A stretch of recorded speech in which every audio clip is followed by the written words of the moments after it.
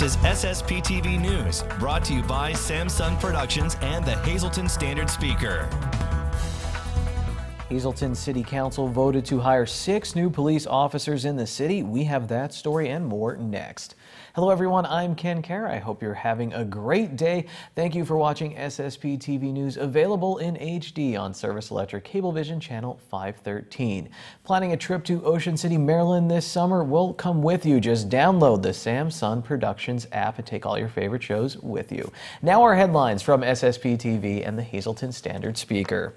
Will the Hazleton Area School District change its program for students learning English? A proposed newcomer program would group those students together for the school day. The students could remain together for months or longer before entering mainstreamed classes. Superintendent Dr. Craig Butler says that the students would learn English and math while getting an introduction to American schooling. Currently, students are mainstreamed right from the start with special sessions with teachers of English as a second language Language, or ESL. More than 400 English learning students enrolled in the district this year. The board will discuss the financial impact of a newcomer program at tonight's budget meeting set for 6 p.m. A bill that would benefit after school programs has passed the U.S. House of Representatives and is now headed to the Senate. Congressman Lou Barletta added language to the bill that would help after school programs like the Schools and Homes in Education, also known as SHINE. This is video of the grand opening of a SHINE program at the Hazleton One Community Center.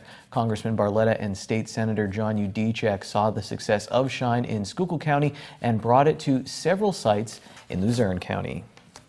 Hazleton City Council voted last night to hire six new police officers. The new hires are Patrolman Nicholas Davey, Christopher Conardi, James Shaw, Michael George, Kenneth Crawford, and Zachary Molinaro. Grant money will fund two of the six positions for the next three years. The six will replace officers who have either retired or resigned from the department. You can read more about the new police officers in today's Standard Speaker or at standardspeaker.com. A wanted man is facing charges following two separate chases yesterday. 30-year-old Jeffrey Keller is facing charges from both Hazleton and Butler Township Police. The first chase began in Butler Township after police recognized him as a wanted man. The second chase occurred when Hazleton Police spotted his vehicle. It ended when Keeler's, Keeler crashed his car into a home on Allen Street in West Hazleton. The home sustained serious damage. The Laurel Mall is growing again. Another store is set to open and a special program is planned for the upcoming Memorial Day holiday. This is Rocco Aruzo, the business development manager at the Laurel Mall. But did you know he's also the choir director at Most Precious Blood Church? That's my church. And you're taking the show on the road. The choir will be here at the Laurel Mall performing for Memorial Day celebration. Yes, we're going to do a Memorial Day program on Sunday, the 28th, um, May 28th at 2 p.m. We'll uh, have the veterans here, obviously, to uh, participate in the program. Some special guests, and yes, we are bringing the Most Precious Blood MPB choir out to uh, perform some patriotic music.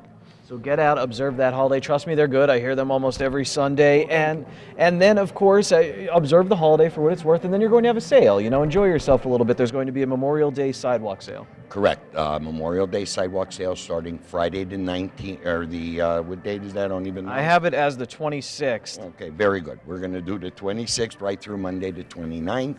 And that's our annual Memorial Day sidewalk sale with all the merchants. Everything will be out. Uh, what do we say, the sidewalk or in front of their store. So we call it the mall walk here at the Laurel Mall. So, yep, we'll have the sidewalk sale for the weekend. That'll be nice. Get a taste of all the stores here, see what they have for sale. And then another big deal Treasure Hunt will be having their grand opening. Right. We mentioned that they had their soft opening. Now they're going to do their grand opening on uh, Friday the 26th. We'll do the ribbon cutting at 10 a.m. and they'll be officially open. And they're going to do some prizes and everything for their grand opening. So we're excited to have them here.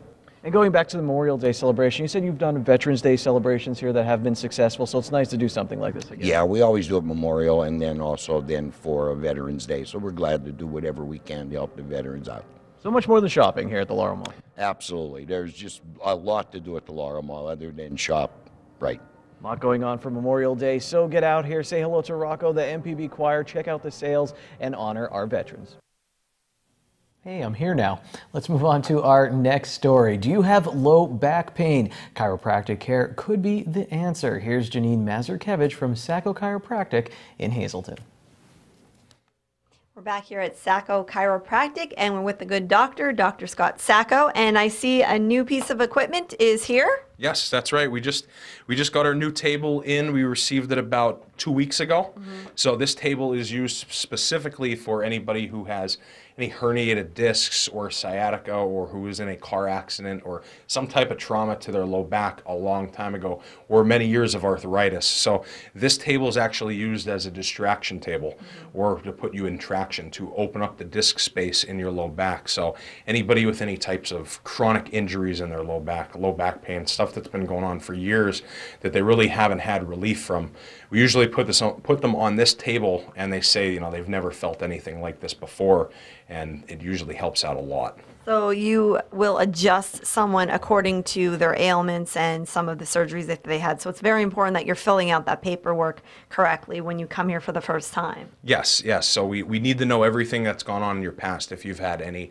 any surgeries, any mm-hmm. major accidents, anything that's ever gone on in your back or your spine, that's the reason why we have it on the paperwork to find out. So I know specifically how to adjust you because everybody's a little bit different. Mm-hmm. Everybody gets adjusted different. This table could be used the same as any of our other tables, mm-hmm. but it could also be as different from any of those tables as well. Now that you use a TENS unit on me, correct? Is that the video? It was a stim unit, so it was an electric stim. Yes. And what does that do? that actually calms down the muscle spasm. Mm-hmm. So the muscles are around your your spine, so they're protecting everything and it's tight. So a lot of times when somebody comes in and they're in a lot of pain, the muscles will be tight. So we put the stim on everybody first. We put the stim in a hot pack to loosen everything up, and then we get a better adjustment. Very good. Join us each and every week right here on SSP TV News. Thanks, Janine. After this break, the host of Wild Bout Hunting, a bow of some sort, and a backpack. Let's see what happens together. And in sports, the Pennsylvania Women's Open Golf Tournament returns after 22 years, and a local course is hosting the event. We'll talk with the organizer. This is SSP TV News, your place for 24 hours of your hometown news and information.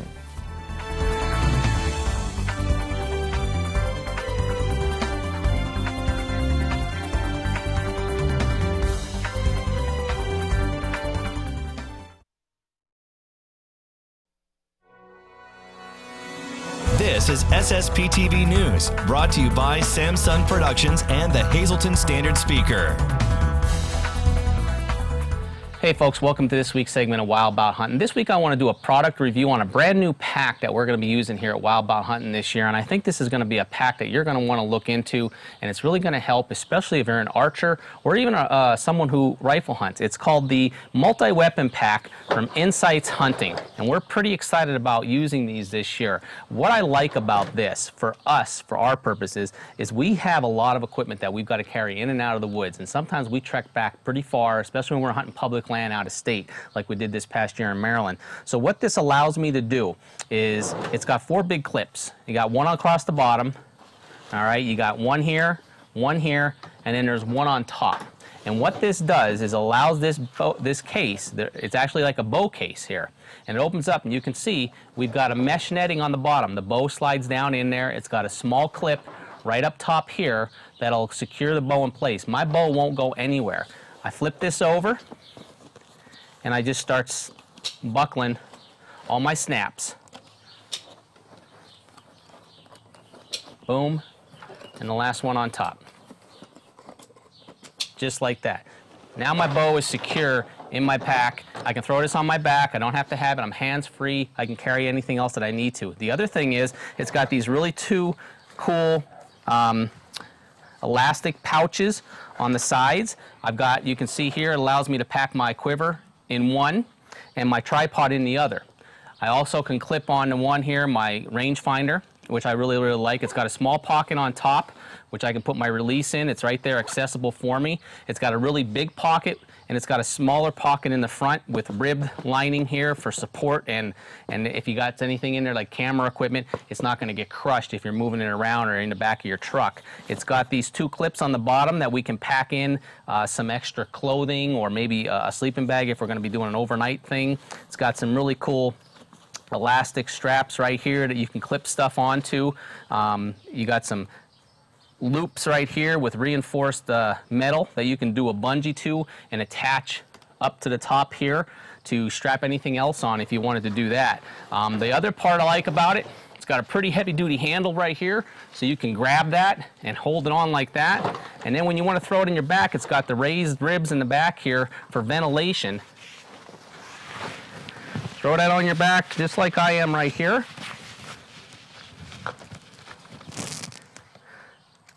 Got the waist strap, you got this chest strap. Everything's balanced evenly over my back, right across my lower back.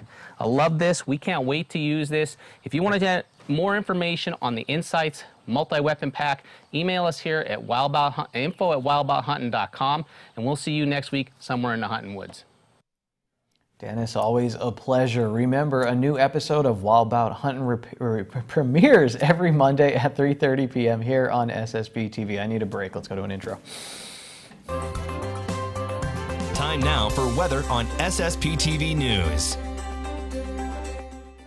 Just a beautiful day at the Valley Country Club as the Pennsylvania Women's Open Golf Tournament comes to town. Here's our local forecast from the National Weather Service.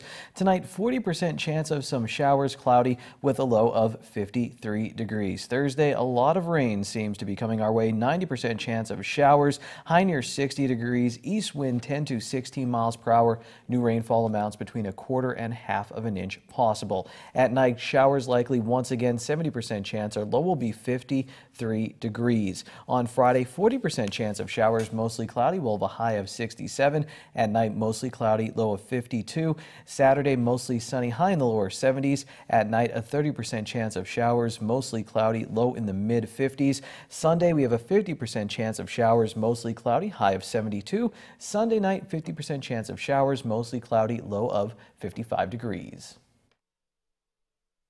Tonight's weather is brought to you by Valley High Food Drive-In, the area's oldest ice cream and fast food restaurant. We're open weekdays 3:30 to 8 p.m. Stop by for our ice cream and yogurt.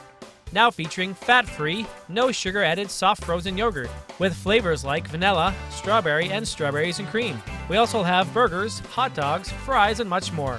That's Valley High, Route 93 in West Hazleton, and like us on Facebook. As we've been telling you, a major campaign is underway. The Hazleton YWCA strive to revive the Hazy Pool. In conjunction with the campaign, the Y invites you to join their fourth annual Nescopeck Duathlon at the Nescopeck State Park this Sunday at 8.30 a.m. Hello, I am Rob Gould. I am going to be your race director for the Nescopeck Duathlon. It is the first race in the NEPA multi-sport endurance fest race series. I love our Nescopeck course. It's a beautiful run, three mile run. It takes you past two different lakes on a nice grassy maintained trail, 15 foot wide trail in most spots. It's by no means an Xterra trail run, but it's a nice scenic run through the woods. And our bike course is 16 miles on Honey Hole Road. Honey Hole Road is in excellent shape. There is not a pothole on the entire course. We just held our cycle time trial there this past Sunday, and throughout the entire hour-long race, I think the count was one car. So it's a very safe road to hold an event on. Let me tell you a little bit more about the uh, multi-sport race series we have going on. In 2017, we now have five races. It's going to be our Nescopeck Duathlon, the Wilkes-Barre Duathlon in June, the Anthracite Triathlon in July, the Strive Triathlon at the end of July, and middle of September, the Beware of Barracuda Triathlon. So that's five events. If you compete in three events, you're eligible for our awards category. And our scoring system, if you are first place in an event, you're scoring 100 points male and female. Second place, 99. Third place, 98. And all the way on down. So your score is based on how you place as a male and female. And we are giving out, at the end of the season, overall awards for the series. Top one, two, and three, male and female, as well as age group awards. So we hope you participate. Try to get in three or more races. If you do more than three races, we take your score for your best scoring events. You can find information on registration for this race and all the others at hazyracing.com.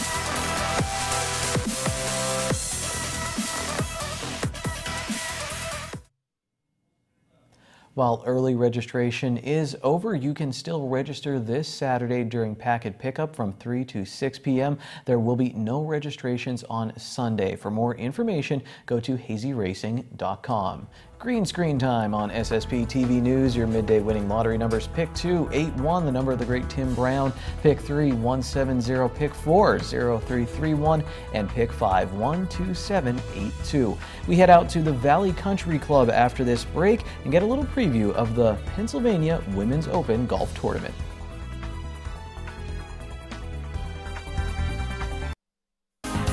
Time now for sports on SSP TV News. Programming note, our regularly scheduled program Dave Day with Standard Speaker Sports editor Dave Seaman will be seen tomorrow on SSP TV News. Right now you will see my interview with Kate Scarpetta. She's the tournament director for the Pennsylvania Women's Open Golf Tournament being held at the Valley Country Club in Sugarloaf this weekend. She's also a professional golfer, so she'll be competing in the event. It's the first time the event is being held in 22 years and it's attracted some big names from the LPGA Tour and the Symetra Tour, that's the LPGA PGA's developmental tour. Plus, the tournament will benefit the Geisinger Health System's Autism and Developmental Medicine Institute. Here's my interview from earlier today. You've been very busy. You said it's been late nights. It's been. I take that this is a labor of love, though. Um, are you loving it right now? I'm loving it right now because I'm seeing it all come together, and it happened very quickly. Um, this is the clubhouse has turned into a hornet's nest of excitement, and I love it. Uh, I just took my eyeglasses off for this interview because the contacts are just not doing it anymore. I've been up a little too late. Yeah. so labor of love here, and um, a lot of people love this course, Valley Country Club. I haven't played it in a while, but um, talk about it a little bit. Talk about being here, and I hear you're you're from PA. I am, yeah. Okay. I'm from northeastern Pennsylvania. I grew up playing at Elkview and at Glenmaura. Yeah. nice. Mm-hmm. Where in northeast Pennsylvania are you from? Crystal Lake originally, and then we moved down to uh, Scranton. Scranton, okay, yeah. Um, have you been out this week to play the Valley Country Club? I mean, have you had time to get around it? I snuck out yesterday when my phone died. Okay. I figured that was a good good time to leave. Um, it's in great shape. Valley's an awesome place. The girls are gonna love it. It's a Tillinghast design.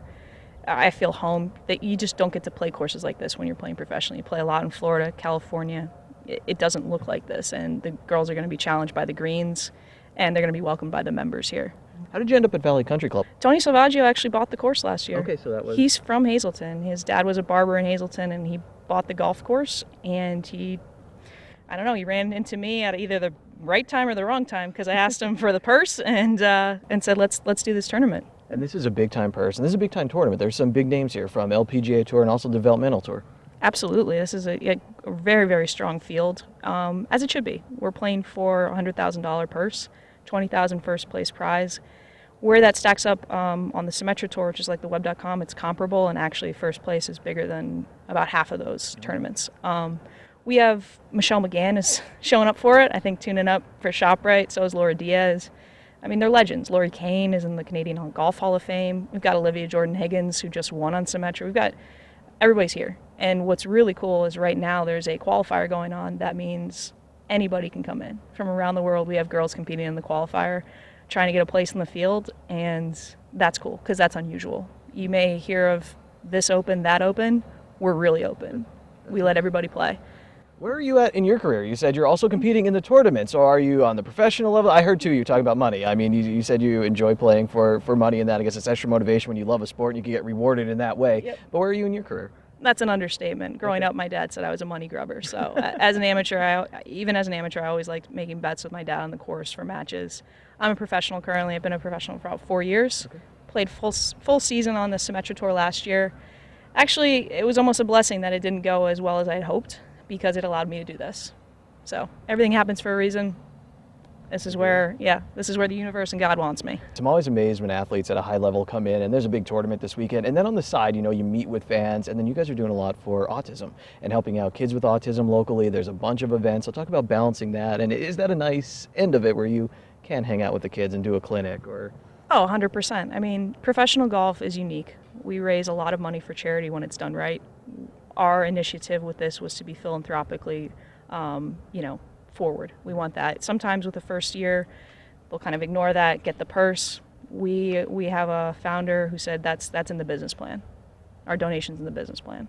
So I love that. That's what I believe. That's the ethos that I've always been brought up with professional, this professional sport that I chose to go into. So that's amazing. As far as what Geisinger does, unbelievable. My first meeting with them, I learned so much about autism and what they're doing, both from a genetic research standpoint and also from quality care. Why not give back to the place where people from home get, get treatment when they need it? And Geisinger, I think, does a great job. And I've enjoyed working with them and meeting uh, Dr. Ledbetter's playing in the pro am. He's got a very convenient golf name too. I think he's I think he's milked it for a couple tee times he shouldn't have had, but he's uh, he's very excited to be here, and it's it's been great. It's it's been absolutely awesome use what, whatever works with you. And the last thing I want to ask is if people are watching this and they say, hey, you know, I might want to stop down, can they, tickets available? I mean, I see the website's phenomenal. Can they still do this? Yeah. Thanks on the website. That was a, that was my first crack at it. Um, it's yeah, it's donation only. Suggested donation that goes directly to ADMI, and we just ask that you take the shuttle at Penn State Hazleton. Uh, we'll shuttle you down here. Yeah, first tee time's 8:30. Very nice. Yeah. If you've never been to a professional tournament too, you have to check it out. And it's right in our backyard, so come out, see it, enjoy everything that's happening here at the Valley Country Club and the Pennsylvania Women's Open. For full information on the event, go to pawomenopen.org and follow them on Twitter. They have a lot of updates there. On Friday, we'll talk with Emily Gimple, who's on the LPGA Symetra Tour. She's from the Philadelphia area and is very happy about playing a tournament here in PA. Well, let's take a break and then I'll wrap things up after our social report. Good evening, everyone. Here's tonight's Talk of the Town. Penn State Hazleton will be offering Hazleton area high school students a college level course for credit. There will be an information session held at the Hazleton Area High School Library on Tuesday, May 30th at 6 p.m. This information session is free. Students and parents are welcome and encouraged to attend. Questions can be directed to Deborah Conway at 570 450 3136. The Frackville Area Hometown Heroes program will have a dedication ceremony at 11 a.m. on Saturday, May 27th. The ceremony will take place on 21 South Lehigh Avenue in Frackville. All veterans, families, and friends are invited to attend. The Hazleton Public Transit will be closed on Memorial Day. There will be no bus services and the offices will be closed. PennDOT driver's license and photo centers will also be closed for the holiday. They will be closed Saturday, May 27th and Monday, May 29th. They will reopen on Tuesday, May 30th. Customers can visit www.dmv.pa.gov. SSP TV News would like to send our sincere condolences to the family and friends of these recently departed. George L. Meyer, Buck Mountain. Funeral will be Saturday at 1 p.m. at the McHugh Wilczek Funeral Home. Friends may call 6 to 8 on Friday at the funeral home. Bonnie Lynn Migliosi, formerly of Tamaqua. Memorial will be Saturday at 11 a.m. at the Zeilman Gula Funeral Home. Attention pay-per-view subscribers, if you see your name now on SSP TV News, you'll have 13 minutes to call in and win a free movie from Service Electric Cablevision. Tonight's winner is Robert Chubb of Ashland. Call now at 570-455-7267 extension 104 to claim your free movie.